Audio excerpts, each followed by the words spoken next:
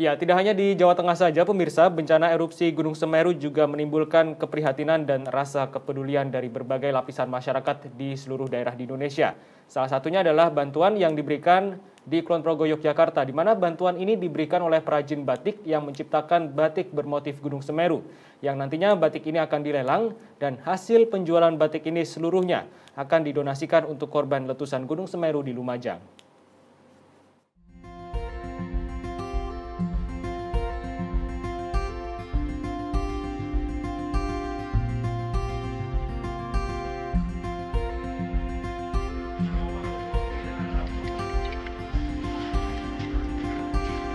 Salah satu pengrajin batik di Sembungan Gulurejo Lendah, Kabupaten Kulon Progo, Yogyakarta, menciptakan motif batik dahsyatnya erupsi Gunung Semeru.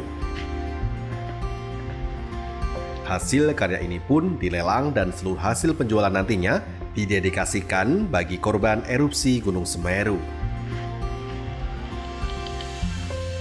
Proses pembuatan batik Semeru ini diawali dengan sketsa yang dilanjutkan penggoresan malam menggunakan kuas layaknya melukis.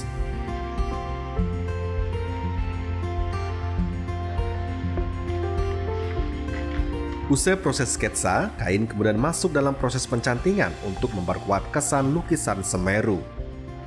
Usai pencantingan, barulah masuk ke proses pewarnaan serta penguncian warna menggunakan water glass. Warna yang digunakan pada batik Semeru ini didominasi warna hitam, abu-abu, dan biru. Untuk memancarkan kesan dahsyatnya letusan, pembatik memberikan torehan warna merah dan oranye di sekitar gunung.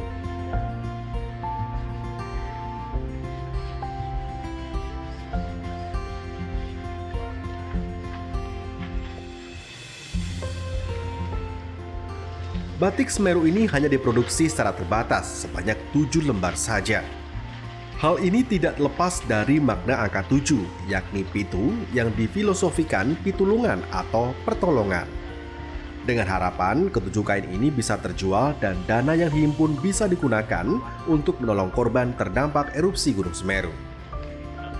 Ketujuh kain ini akan dijual dengan sistem lelang melalui media sosial.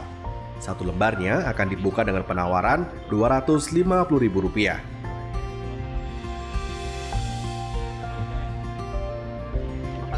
ini saya bikin tujuh. Sementara ini saya bikin tujuh untuk kita nanti jual untuk nanti kita uh, lelang.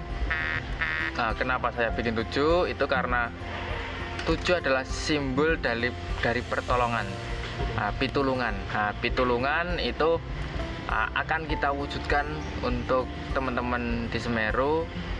Uh, walaupun saya tidak bisa menyumbang banyak tapi Semoga dengan ini kita bisa memberikan sedikit pertolongan buat mereka, memberikan sedikit pitulungan buat teman-teman di sana. Gitu. Dari Kulon Progo, Daerah Istimewa Yogyakarta, Putut Karangjati, Metro TV.